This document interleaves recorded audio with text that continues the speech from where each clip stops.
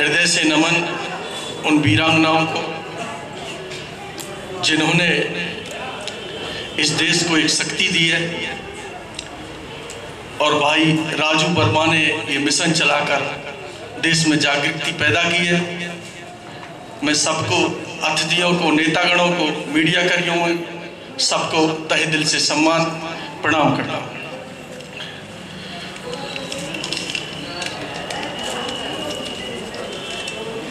बढ़ जाता है मानवीर का रण में बलि देने से और मूलवती होती सोने की भस्मयता सोने से।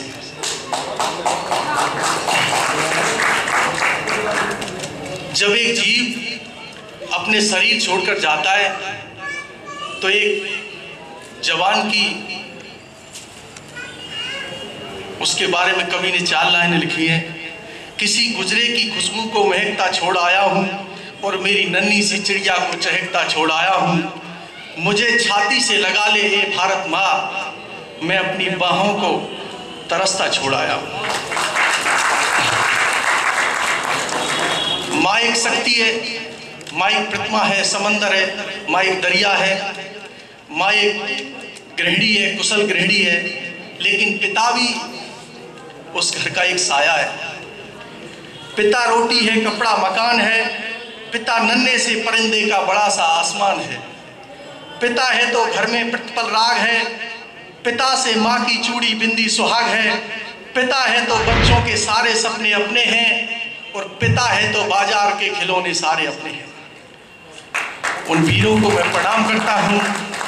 उनकी शहादत को, उनके बलिदान को, वो वीर, महावीर थे। पुष्प की अवलासा लिखिए।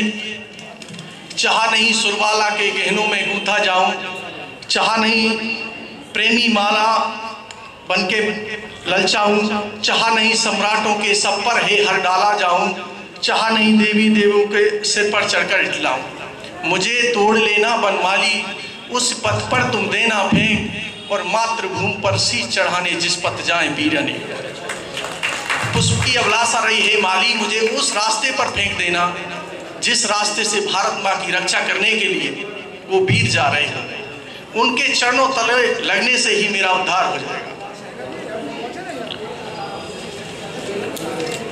इन सब ट्रस्ट के कार्यकर्ता नेतागणों को, सभी अतिथियों को आपने बुलाया, बोलने का मौका दिया। मैं शहीद हेमराज के गाँव से हूँ, वहाँ से उनके चाचा जी आए हैं। ठाकुर साहब खड़े होकर एक बार जनता का आवादन स्वीकार करें। और ग्राम प्रधान पंडित वीरेंद्र शर्मा जी हेमराज के भाई जी, और वो वीरांगना, इन सब के साथ आने का, उनके परिवार से हमें सौभाग्य मिला।